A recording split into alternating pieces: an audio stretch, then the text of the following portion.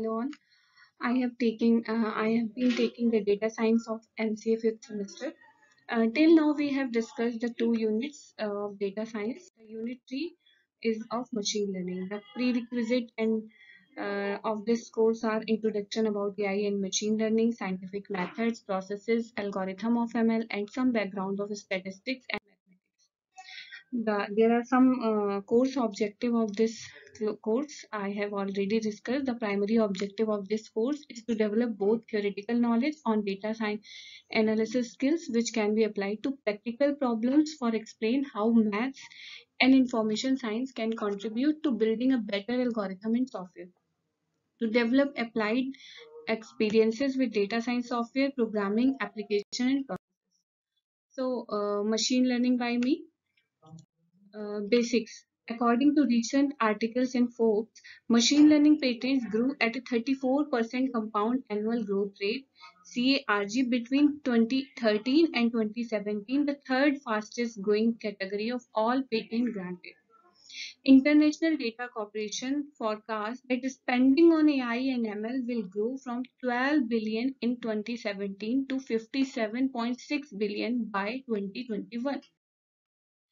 So what is machine learning? Machine learning, as the name suggests, provides machines with the ability to learn autonomously based on experiences, observation, and analyzing pattern within a given data set without explicitly programming. When we write a program or a code for some specific purpose, we are actually writing a definite set of instructions which the machine will follow. Whereas in machine learning, we input data set through which the machine will learn by identifying and analyzing the pattern in the data set and learn to take decisions autonomously based on observation and learning from the data sets. Means machine learning is the ability when a machine can learn without uh, by its own without being explicitly programmed.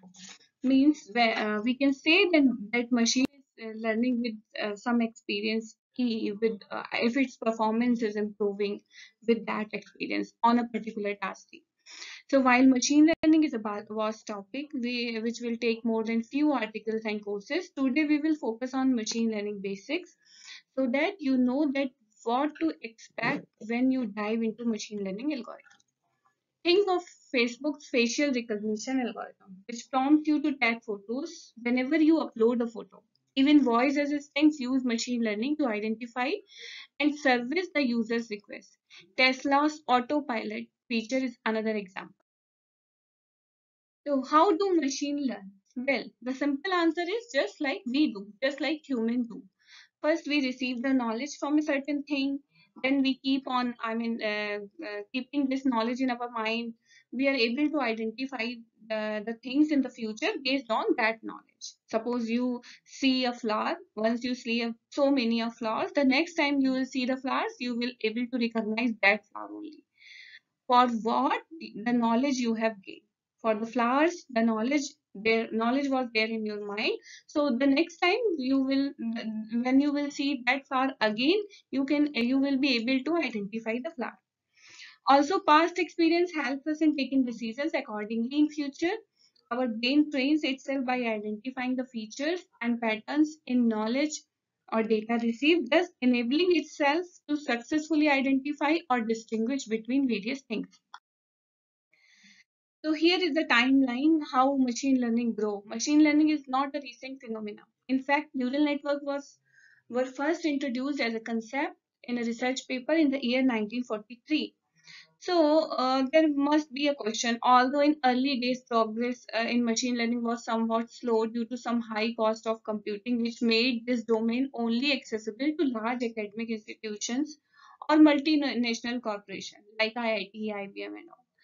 So there was also the fact it in in itself was difficult to acquire for a company's need. But with the advent of the internet, we are now generating quintillions of data every day quintillions of data every day.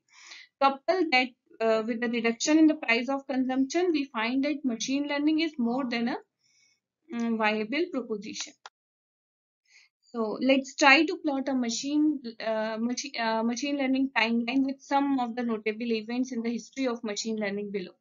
So 1950, Alan Turing created a test to check if the machine could fool a human being into uh, believing that it was he uh, it was talking to a machine in this this this was a very famous experiment by Alan Turing. He set the interrogator in one room and uh, placed the one uh, human and one machine in another room.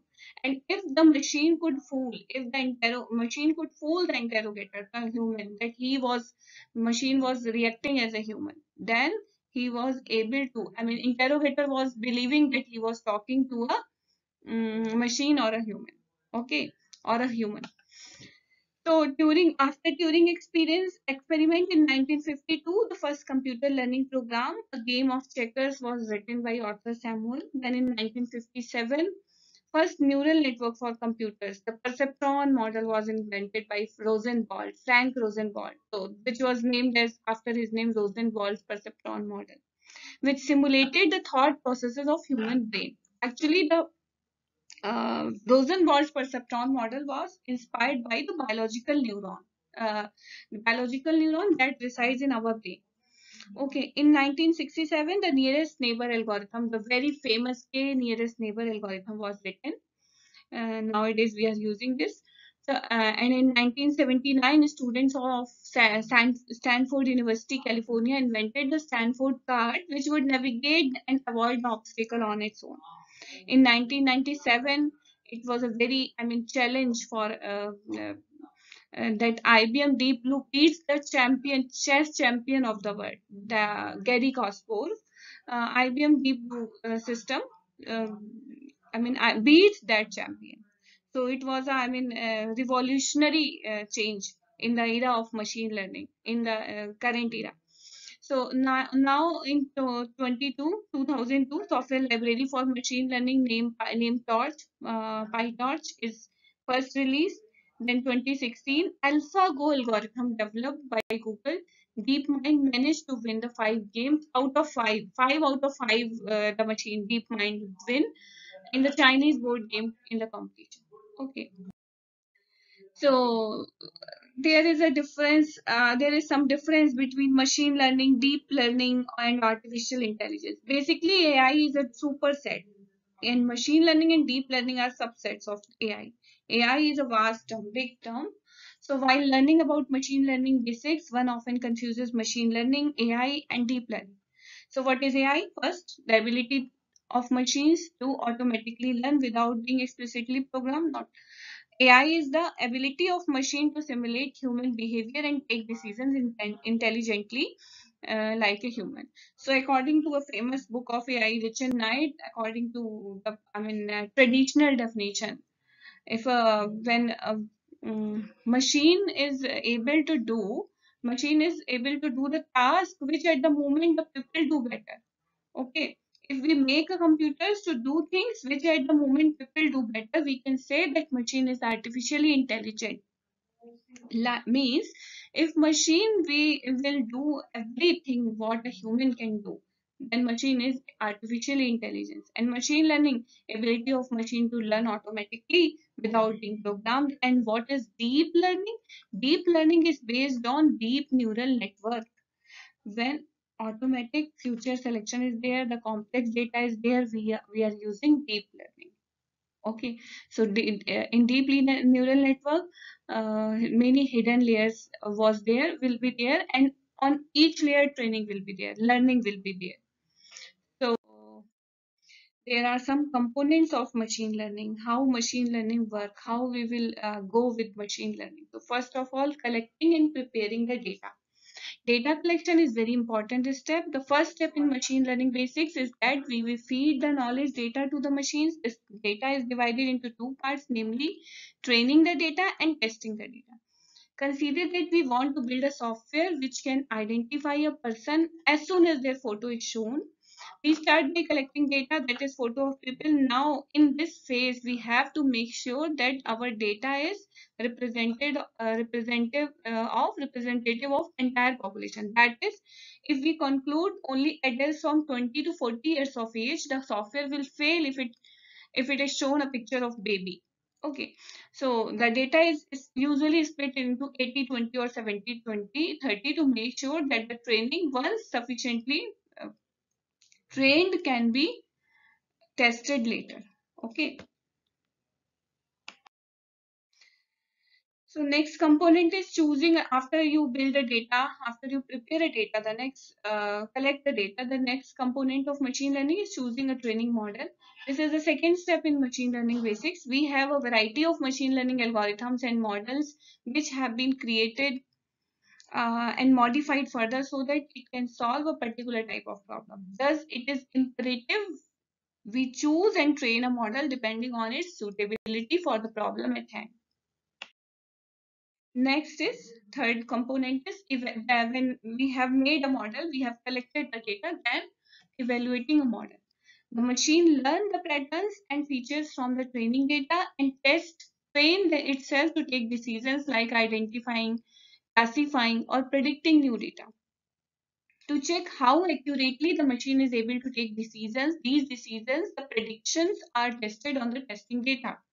Generally, we first work on the training data and once the model is sufficiently trained, we use it on the testing data to understand how successful it is in recognizing the faces in the photo. So next component is hyperparameter tuning and prediction. So in machine learning terminology, hyperparameters are the parameters that cannot be estimated by the model itself. But we still need to account for them as they play a crucial role in increasing the performance of a model. Traditionally speaking, hyperparameters in machine learning model are the parameters which need to be specified by the user in order to run the algorithm. Classical parameters are learned from the data. Hyperparameters may or may not be learned from data. Means hyperparameters are uh, those parameters which are which cannot be estimated by model itself. Okay min-made parameters. So components of machine learning, uh, for example, uh, in a, a, decision tree shown, the hyperparameters are number of leaf nodes, depth of the tree, okay, minimum sample required to split the node. So scan image, then we split into two uh, classes, faces detected, faces not detected, baby, teenager, adult. So these are these leaf nodes are hyperparameters. This depth of the tree 3 is hyperparameter. Minimum sample required to split the node is hyper